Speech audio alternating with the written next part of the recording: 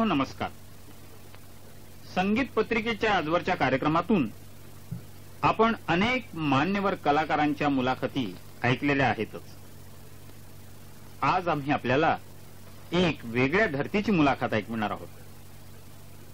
Master Dinanath Mangeshkar नाट्यगृहात वीस व एकवीस सप्टेंबर शहाऐंशी रोजी सवाई गंधर्व जन्मशताब्दी सोहळा अत्यंत उत्साहानं साजरा करण्यात आला.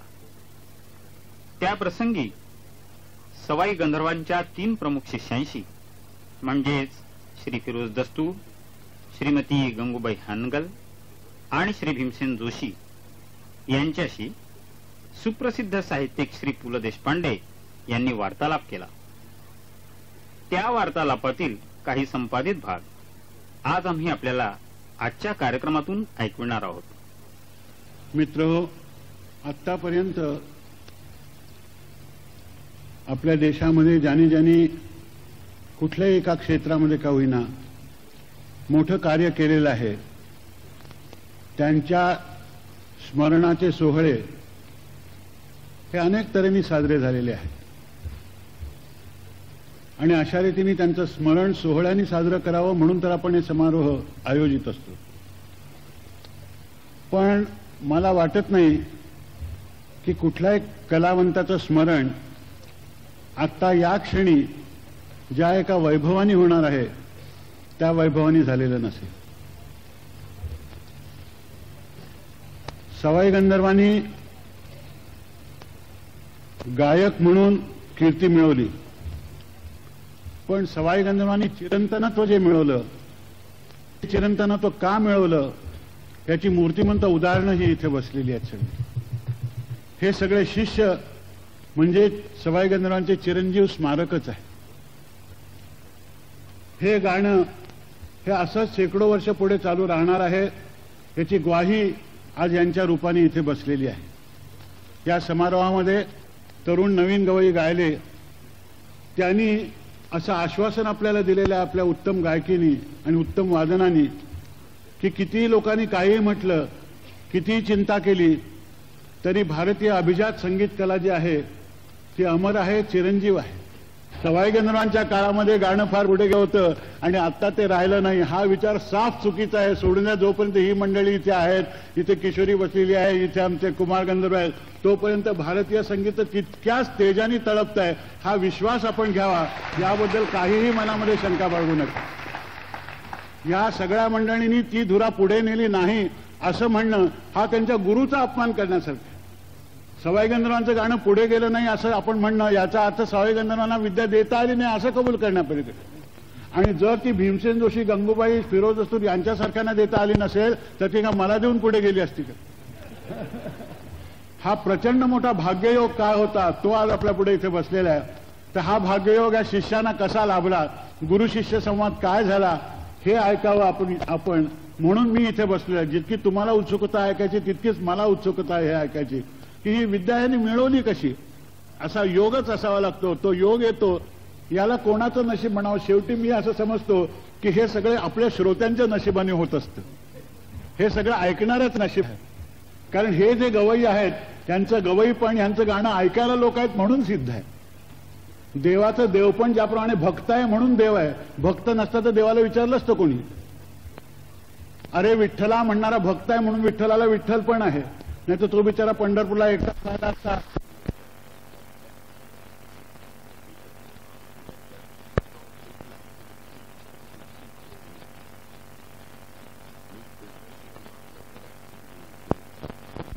सोपं पडेल. आणि उत्तर हिंदुस्थानातल्या लोकांना पारशी नावापेक्षा फिरोज हे एक पर्शियन उर्दू हिंदी सगळ्याच्यात माहिती असलेलं नाव कळेल. म्हणून वाडिया मोहिटोनचे जे वाडिया होते त्यांनी पुन्हा यांचं बारसं केलं. यांच्या अगोदरच्या नावाचं फ्रेडी यांच्या घरातल्या लोकांनी केलं ते सगळ्या लोकांनी आत्मसात त्यांच्या मित्रमंडळींनी केलेलं आहे. तर फिरोज दस्तूर हे सवाई गंधवांची तालीम लाभलेली भीमसेने लाभलेले गंगूबाई लावलेल्या तर गंगूबाईंना वयाचा मान ज्ञानाचा मान या दृष्टीने मी पहिला प्रश्न विचारणार आहे. मी तुम्हाला एवढंच विचारणार आहे की हा योग सवाई गंधर्वांकडे शिकायला जाण्याचा तुम्हाला लाभला कसा? सवय गंधर्व हे नेहमी कुंदगोळा त्यांचं गाव कुंदगोळ असल्या कारणानं ते येत असते मध्ये मध्ये. आणि ते गाव त्यांचं कुंदगुळ असलं तरी राहत होते हुबळीला. अच्छा. आणि त्यांचं स्नेहीकडे ते दत्तोपन देसाई त्यांच्या घरी राहायचे. मला आधी कृष्णाचार्य म्हणून गुरु माझे. त्याच्यानंतरमध्ये अडवतो पण सांगणार तुमच्या मातोश्री.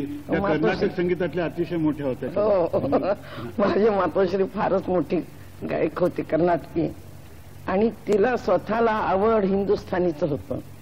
आणि त्या भागात मला वाटतं माझ्या आईच कर्नाटकी गाणारी धारवाडमध्ये शेवटची की काय हो.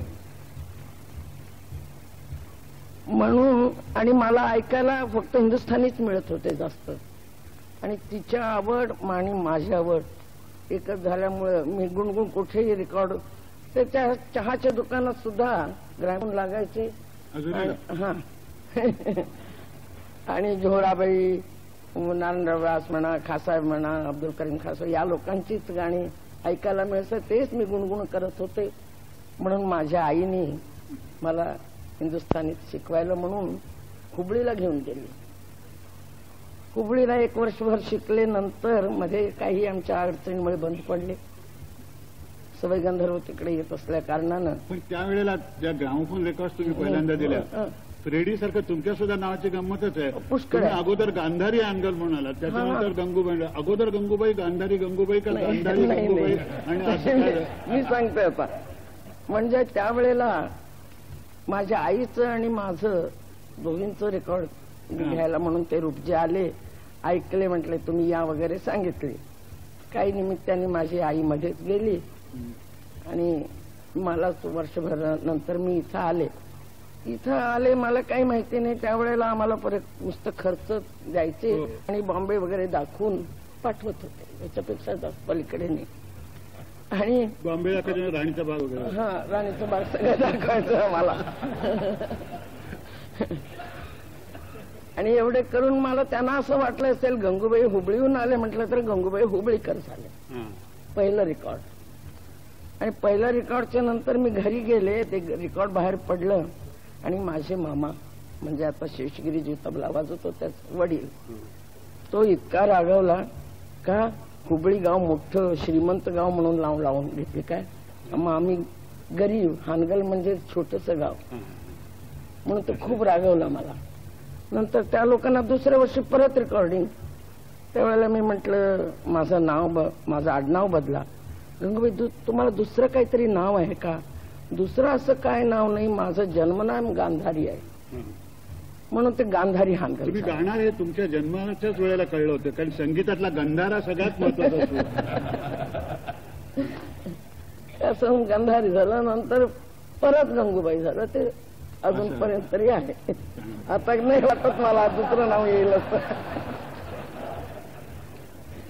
कारण गांधारी अंगण नाव हे तुमची जुन्या रेकॉर्ड्स मला या क्षणी आठवतात. तुम्ही जशा हॉटेलच्या तिथे उभं राहून लहानपणी गाणी मग इतरांची ऐकत होता तसं मी स्वतः इथेच कोमलविलास वगैरे हॉटेल पाहिलेलं आमच्या होतं. तिथे राहून तुमचं रात दिन मना ध्यास लागे. हे गाणं ऐकलेलं आहे मी हो तुमचं ते सुद्धा कर्नाटकी चालीवरचं गाणं आहे. माझ्या आईने मला ते. कीर्तन कीर्तन शिकवली होती.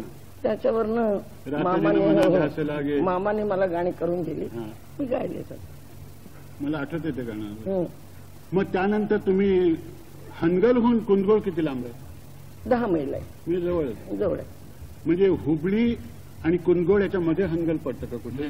नाही नाही. हानगलला रेल्वे नाहीच आहे. माहिती तिकडे मग तिथून तुम्ही हानगल फक्त आडनावाला राहिले हानगलचं आमचं काही नाही तुमच्या म्हणत ते हनगलचं नाव संबंध संगीताच्या तरी नकाशात संबंध जगभर झालेलं आहे असं कसं? कारण नाव हे भिंतीवरच्या नकाशात होण्याला काही अर्थ नसतो. त्या गावाचं नाव त्या व्यक्तीच्या कर्तृत्वाने होतं. आपण ग्वाल्हेर घराणं ज्या वेळेला म्हणतो त्यावेळी ग्वाल्हेर हा काही पोस्टाचा पत्ता नसतो त्यावेळेला जिथे ग्वाल्हेर गायकी गायली जाते त्या गावाचं नाव ग्वाल्हेर म्हणायला पाहिजे. असंच असतं. तसं हनगल सगळीकडे झालंय तुमचं नाव. जसं किराणा हे सुद्धा गावातच नाव आहे की हो. तर मग तुम्ही राममोहनच्याकडे आलात. हो म्हणजे तिथे कोण घेऊन गेलं तुम्हाला? ते दत्तोपन देसाई घेऊन आले. मध्ये पण गाणं बंद पडलं ना माझं. म्हणून ते घेऊन आले दत्तोपन देसाई या मुलीचा आवाज चांगला येईल शिकवा. ते म्हणायला लागले कसं शिकवायचं? मी असतो बॉम्बे पुण्याला आणि मध्ये मध्ये सहा महिन्यांनी कधीतरी येणार. हो. कसं शिकू? म्हणजे तुम्ही सुरुवात तरी करा. मी त्याच्याकडून मेहनत करून घेईन. असं करून माझं दोन चार वर्ष त्या ह्याच्यामध्ये गेले. पण मी प्रोग्राम करत होते. हो. मला आठवते गणपती उत्सव तुमची गाणी त्यावेळेला ऐकली आहेत मी. तेच ते लहान लहान प्रोग्राम हो. कर करत होते. सदतीस साली ते राहायला आले. कुंदगोळला त्याच्यानंतर मी दोन चार वर्ष. तालीम कशी काय चालायची त्यावेळेला? म्हणजे सकाळी रोज अमुक वेळेला वगैरे असं असेल नाही सकाळी नाही मी संध्याकाळी जात होते पाचची गाडी. नऊ वाजता परत गाडी होती मला. मला शिकवायचे कधी कधी कोणी त्यांचे मित्र मित्र येऊन बसले ना नंतर त्या दिवशी बंद.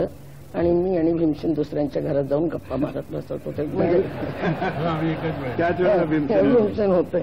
तुमच्या शिकवण्याची सुरुवात झाली तो प्रसंग आठवतो का तुम्हाला? की ज्या वेळेला पहिल्यांदा त्यांनी सांगितलं की ही चीज सुरू करा वगैरे असं. नाही सुरुवात आधी ते गुरुबिन कैसे गुण गावे सुरुवात झाली. त्याच्यानंतरमध्ये बंद पडलं. सुरुवात जे झाली ते पुऱ्या धनाशील पासून सुरू झाला. तिथं आल्यानंतर. अच्छा. पायल की जेमते पाय- पायलके नाही आबतोड होतो. अगोदर आणि भीमसेन तुम्ही कसं काय आलात? माझं आता तुम्हाला माहिती आहे की मी लहानपणी पळून गेलो होतो. अजून सुद्धा जाता असं आम्ही ऐकलेलं आहे. नाही.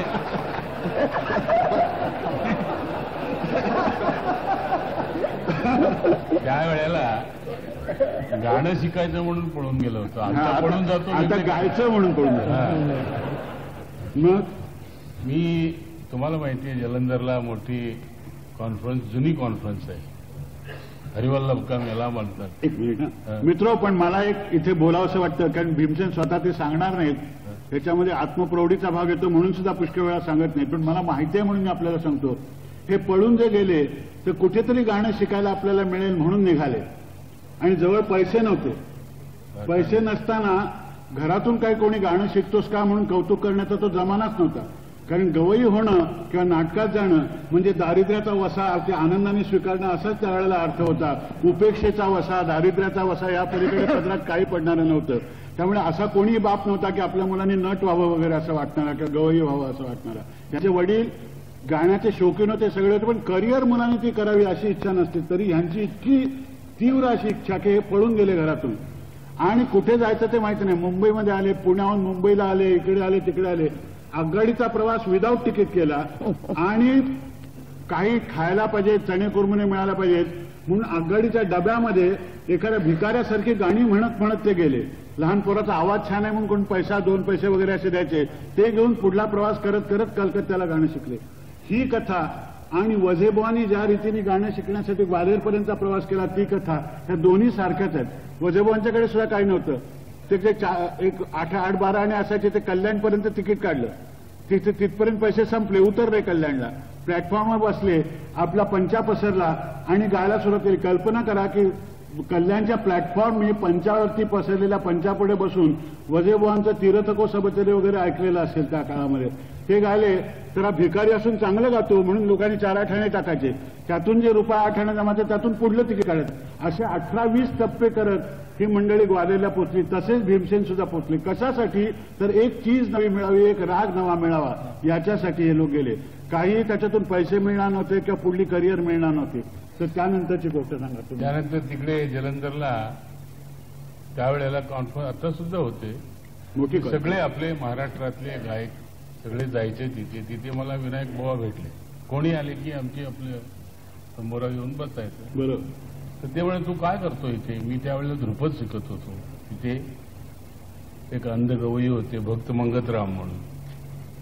तर ते म्हणाले इथे काय? तो तुला जसं पाहिजे तसं गाणं नाही. तुझ्या शेजारी एवढी मोठी व्यक्ती आहे सवाई गंधर्व आहेत. गदग आणि कुंदगुळ काय? चाळीस पन्नास मैलाचं अंतर आहे. तू तिकडे जा. गाडी पुन्हा परत फिरली. मग ते आमचे वडिलांचे एक मित्र होते महाशब्दे म्हणून. ते आमचे गुरुजींचे पण मित्र. त्यांनी मला तिथे नेलं. तिथे ठेवलं. रेडी हे तरी कुंदगोळच्या आसपास होते. हो. तुम्ही मुंबईला होता. हो. आणि तुम्ही होता ते चित्रपटाच्या वातावरणामध्ये होता. हो. तुमचं मी वामनावतार चित्रपट पाहिलेला आहे आता सांगतो त्याच्यामध्ये तुम्ही वामनाचं लहान काम केलं होतं. बटू वामन अजून सुद्धा तुम्हाला मिळू शकेल ते काम. इतके तुम्ही संगीतातली उंची किती वाढवलेली असली तरी तुमची शरीराची उंची वामनावताराला साजेश आहे. त्यांनी तीन पावलात जग जिंकलं होतं तुम्ही तीन सुरात संगीताची दुनिया जिंकलेली आहे. त्यामुळे काही प्रश्नच नाही आहे. तर तुमचा कसा संवेदनांशी संबंध आला? कारण तुम्ही वातावरण निराळं तुमचं कौटुंबिक वातावरण निराळं सगळं असं असून. हे सर्व प्रथम म्हणजे माझ्या वडिलांना शास्त्रीय संगीताचा भारी आवड होती त्यांना. अच्छा. म्हणजे इथपर्यंत के त्या काळात त्राम बसायचं बस नव्हते. हो. कुठे गेलं आणि कोण गुणगुणत बसलं की माझ्या मुलाला शिकवेन का म्हणून त्यांना घरी घेऊन यायचं. इतकं त्यांना आवड होती. आणि तसे माझे काय काय चार चार दिवस सहा सात दिवस दोन दोन महिने पुष्कळ गुरुही झाले. अच्छा. पण त्या काळात मी रेकॉर्डची कॉपी करायची. बरोबर. बहुतेकांच्या संगीताच्या आजचे प्रारंभ तोच झालेला आहे. रेकॉर्डची कॉपी करण्यापासून झालेला आहे. आणि अगदी लहान असताना माझी मावशी वगैरे आंघोळ घालत असताना जे गाणी शिकवतात ना वाला वो मंची जाऊ हवे हूं तारी रजा लईन असली गाणी शिकवायची. पण ते मी गायचं त्याच्या वडिलांना असं वाटायचं की ह्याच्यात काहीतरी आहे. बरोबर. आणि वडिलांनी काही चाली शिकवल्या होत्या मला वगैरे. आणि जमशेदजी वाडियाना लाले अमन म्हणून पिक्चरमध्ये एक गाणारा मुलगाची त्याला तलाश होते. जाता आता हे सांगतो जेबीएच वाडिया. ज्यांचं नाव स्टंट पिक्चर काढणारे म्हणून प्रसिद्ध आहे. हे. स्वतः संगीताचे अतिशय जाणकार होते उत्तम स्वतः पेटी वाजवत असत आणि त्यांनी भारतीय संगीतावर मोठे उपकार करून ठेवले आहेत. म्हणजे त्या काळातले जे गवई होते त्यांच्या डॉक्युमेंटरी छोट्या छोट्या. कुमार नवव्या वर्षी गायलेली डॉक्युमेंटरी ही जेबीएच वाडियांनी त्यावेळेला करून ठेवलेली आहे. आणि अतिशय व्युत्पन्न होतात त्यांच्या त्या फिअरलेस नादिया वगैरे चित्रपटाचा आणि ह्या एकूण संगीताच्या शोकाचा असा संबंध जुळवताना जरा कठीण होतं. या ग्रस्तात दोन गोष्टीचं मला कुतूहल वाटतं की हे स्वतः चित्रपटाचे डायरेक्टर होते संगीताचे ज्ञाते होते त्याबरोबरच एम एन रॉयचे हे मित्र होते चांगले आणि रॉईझमचा त्यांचा अतिशय चांगला अभ्यास होता. पुढे. तर त्यांना एक मुलगा पाहिजे होता आणि माझ्या वडील वडील जे होते ते बिलियर्ड चॅम्पियन होते आणि त्यांचा बिलियर्ड सेलून होता. त्यात जमशेदजी वाद्यांचे एक बंधू त्यांचे मेंबर होते. आणि असंच वर्षाला जेव्हा काहीतरी प्रोग्राम बसायचं त्यावेळेला मला ते गायला लावायचे. त्यांनी आपल्या बंधूला सांगितलं म्हणजे जेबीएच वाद्यांना की तुला पाहिजे तर एक आपला पारशीच मुलगा आहे तू आई त्यांना आता तुम्ही पारशी म्हणालात. पण तुम्हाला मी सांगायला पाहिजे असं. नाही भारतीय संगीताचा शास्त्रीय शिक्षण देणारा पहिला क्लास हा मुंबईत पाच लोक झालो हो गायन उत्तेजक मंडळी वगैरे. सुद्धा फार जुनी आहे. तर त्या काळात मी घोरजांची एक रेकॉर्ड केली होती नाहकला आहे गवनवा माहीत असं भैरवीतली जरा गुणगुणून दाखव तरी नाहकलाये गवन गवनवा आर मोरा नाहकलाये गवन हं. त्याच्यातच माझा लाले मनबरे खालिक तोरीन असं ना. म्हणून ते गाणं त्यांनी केलं तर ते ऐकायला आले ऐकल्याबरोबर त्यांना पसंत पडला आणि मला त्यांनी ते एका गाण्यासाठी शंभर रुपयाचं कॉन्ट्रॅक्ट करून मला घेतलं होतं. त्या काळात? त्या काळात. त्या काळात रेडिओच्या पंधरा मिनिटाच्या प्रोग्रामला अखंड पाच रुपये मिळत होते नाही पण तसं म्हटलं तर म्हणजे माझे मोठे भाग्य दुसराच पिक्चरला माझ्या पावणे आठशे रुपयाचा पगार झाला. बापरे. आणि मी जवळजवळ पंधरा पिक्चर त्यानंतर हिरोचीच भूमिका केली. हिरो म्हणजे मायनर रोल रोमॅन्टिक रोल नाही. कारण बारा वर्षाचा पोरगा रोमॅन्स काय करतो? बहुतेक बहुतेक रोल हिरोईनच्या भावाचा वगैरे असणार. हिरो ज्याला चॉकलेट वगैरे आणून देत असतो. पुढे? ऐकलं रे त्याच पिक्चरमध्ये त्यांना वाटलं की गातो चांगला. आता जरा डायलॉग बोलतो बोलू शकतो की नाही तर प्रयत्न करू.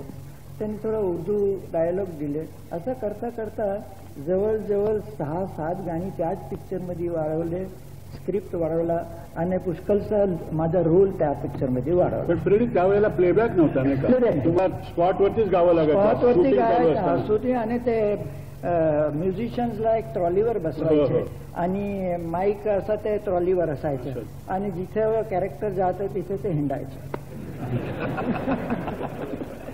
त्यामुळे एक बरं होतं की नायक आणि नायिका बागेत फार धावून गाणी म्हणत सगळं धावायला वाट नव्हती जागच्या जागी बसून वगैरे गात असत पुढे. ते झाल्यावर खरं म्हणजे जमशेदजी वाद्यांना मी माझं पहिलं गुरु म्हणून मानतो. बरोबर. अगदी. छान पेटी वाजवायचे आणि त्यांना ज्ञान होता. माझ्या वडिलांना किंवा मी तर लहानच होतो. म्हणजे घराणा काय वेगवेगळी स्टाईल काय हे काय काहीच कल्पना नाही. तालाचं तर वांधच मला. तर त्यांनी मला माझा आवाजाचा गुणधर्म वगैरे बघून त्यांनी हे सांगितलं. मला कामूराव मंगेशकर त्यावेळेला ताल तालाची माहिती व्हावी म्हणून मला शिकवायला यायचे. असं असंच उल्लेख झाला की आता ह्या मुलगाला कोणीतरी चांगलं गुरुच्या हातात दिलं पाहिजे. की जमशेदजी वाद्यांनी सांगितलं की याच्या आवाजाचा गुणधर्म बघून याला किराणा घरांमध्ये दिलं पाहिजे. कामोराव म्हणाले किराणाचे पाहिजे तर मी रात्रंदिवस खासाबांचे पट्ट शिष्य सवाई गंधर्वान त्यांना ओळखतो त्यांना मी विचारून बघतो ते शिकवाल का नाही? जाता जाता आजच्या पिढीला सांगतो की त्या काळामध्ये कामूराव मंगेशकर हे. तबल्यातले अजोड हो, वादक. हो. खरंच. इतका मोठा तबला वाजवणारा मनुष्य क्वचित असा जन्माला येतो याच्यात होते आणि त्यांचं मोठे पण याच्यात होतं की लईला त्यांच्या इतका पक्का मनुष्य म्हणजे तासापूर्वी जी लय सुरू झालेली असेल हो. ती रेकॉर्ड करावी आणि एक तासानंतर रेकॉर्ड करून नंतरच्या वेळेला त्याच्यात तसूभर फरक पडलेला दिसणार नाही इतके बरोबर लयकार आणि मी तो पहिला मनुष्य पाहिला की साथीला येणार असताना सुद्धा गवयाच्या आयटीने येऊन साथीला बसणारा साथीदार म्हणजे आमचे कामोराव मंगेशकर त्या काळातले. तर त्यांनी सांगितल्याप्रमाणे की मी विचारून बघतो आधी ते तयार होतील की नाही मी सांगू शकत नाही. पण मी त्यांना विचारून बघतो. त्यांनी म्हटलं मी पहिल्यांदा ऐकेन मुलगाला कसं काय आहे ते. घेऊन आले. घेऊन आल्यावर किती सालची गोष्ट आहे? तेहतीस एकोणीसशे तेहतीस साला बत्तीसला मी वाडिया बत्तीसला मी वाडिया मुळीतून जॉईन केलं. एक सहा वर्षानंतर ते आले. आल्यावर मी त्यांना तेच ऐकवलं. खाली की तोरी नजरिया. भैरवी. आणि माझ्या माझी तालीम सुद्धा उलटा क्रमानेच सुरू झाली. म्हणजे सर्वसाधारण यमन शिकवतात गुरु पण यांनी जिद्दानी मला भैरवीपासूनच सुरुवात केली. आणि मठ- मठ्ठी लयची ते या मानले अशी चीज दाखवली त्याने. मग जिथून सु त्याने एक ऐकल्यावर ताबडतोब कबूल केला की मी शिकवेन. तिथून माझं भाग्य झाले पण ती तालीम म्हणजे ते कारण ते कुंदगोळला मुंबईला असे असायचे? नाही ते नाटकात काम करत करत होते. आणि ते सोडून हां. त्यांनी एक व्रत घेतला होता की आता मी पाऊल टाकणार नाही. आणि देशमुख लेनमध्ये खेतवाडीमध्ये स्थायिक झाले. त्या काळात ते मला शिकवायला यायचे आणि माझी रोजची तालीम हां. आणि जेव्हा मी या लोकांची कथा ऐकतो की यांनी काय काय तपश्चर्या केली आहे काय काय श्रम केलाय त्या मानाने मी फार सुखात शिकलो. नाही त्याचं कारण तुम्ही त्याचं कारण तुम्ही मुंबईला शिकलात. नाही मुंबईला शिकलो शिवाय मी लहान होतो. नाही लहान होते आता- लहान होते परंतु ते कुंदगोळला गेले. हां. तर भीमसेन म्हणत होता की गंगूबाई सांगतील हां. की यांचं पहिलं काम होतं म्हणजे नदीवरून पाणी भरून आणणं हो, हो. आणि या तळा तळातून. तळ- आणि त्यांच्या घरापासून चांगलं मैलभर लांब ते तळ होतं. तिथून चार पाच सहा घागरी रोज भरून आणायच्या पन्नास. हां? पन्नास घागरी. आणि मला वाटलं भीमसेन नाव त्यामुळे त्यांना मिळालेलं आहे. शरीर सुद्धा छान छान झालं. तर ते आणि मुंबईला नळाचं पाणी जवळ असल्यामुळे तुम्हाला तो त्रास नाही पडला. पुढे? हे शिकवताना. तुम्हाला मला एक शिकवण्याच्या पद्धतीबद्दल विचारायचं आहे की चीज सुरू केली हो. की तुम्हाला त्या रागाच्या अगोदर नोटेशन आरोही अवरोही काय? हो, हो. त्याचा वादी स्वर कुठला वगैरे पाहिलं तर बरेच जवळजवळ आम्हाला नाही सांगितलं आरोहावर वगैरे राग सुद्धा आम्हाला विचारायला भीती वाटते. नाही मला सर्गन वगैरे सुद्धा दाखवायचे ते. आपण जास्त लक्ष म्हणजे एक निषाद नाही लागला तर चढाय कमी आहे वरती आहे खाली आहे. तसं सुराचं चालायचं हे. स्वर म्हणजे पहिला सहा तंबुरेशी भिडलं कसं पाहिजे हे जे डोळे मिळाले ते त्यांच्याकडून. बाकी आपलं त्यावेळेला वाटायचं की खूप गातो. पण त्यावेळेला तसं वाटायला हवंच. नाहीतर मनुष्य पुढे गाणं हो. कंटिन्यू करणार नाही. आपल्याला येत नाही असं वाटलं तर तो पुढे जाणारच नाही. आपला इतका कोणी चांगला गाणारा नाही असं ज्यावेळेला वाटतं त्याच वेळेला ते मेहनत.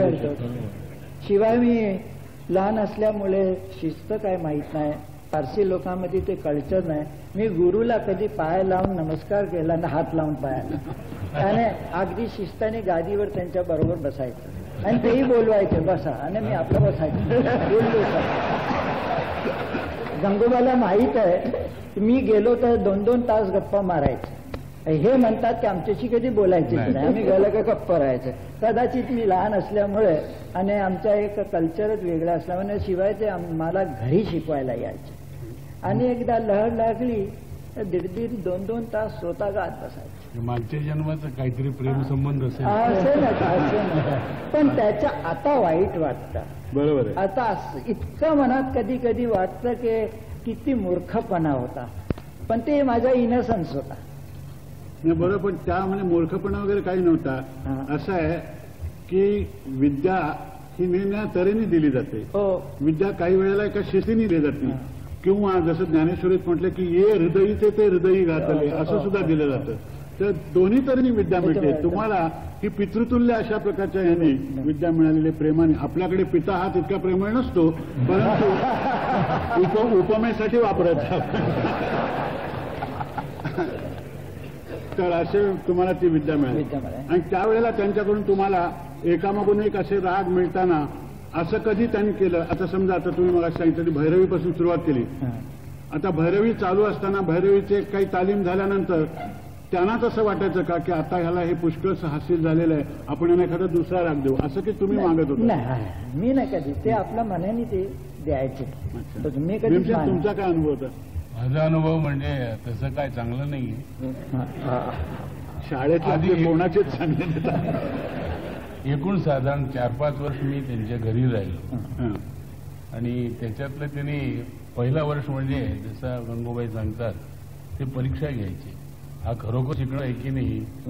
कारण माझ्या समोरच ते पाणी भरण्याच्या त्रासामुळे साधारण एक डझनभर लोक शिवशे पळून गेले. कारण ते पाण्याचं दुष्काळ करता कुंदगोळ प्रसिद्ध अजूनही आहे.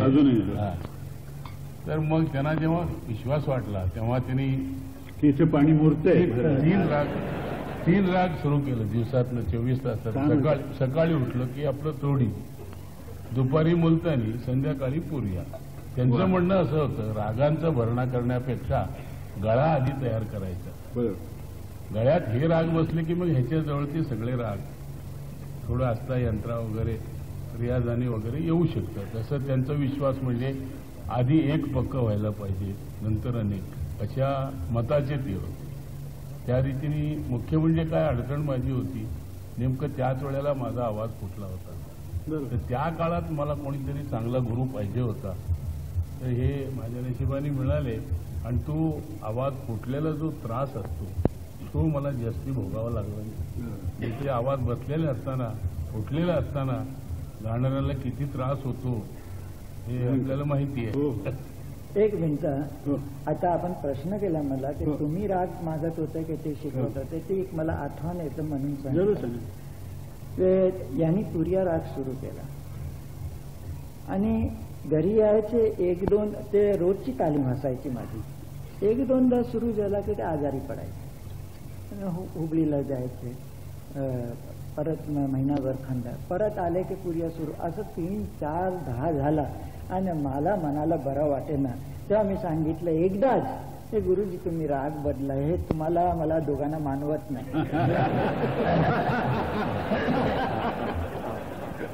ही मला एक आठवण आहे बरोबर चांगलं ते हसायला लागले अच्छा अच्छा नंतर त्यांनी राग बदलला. ही सुद्धा चांगली आहे तुमची आठवण. पण मला तुम्ही सांगा गंगूबाई तुमचे किराणीची गायकी ज्याला म्हणतात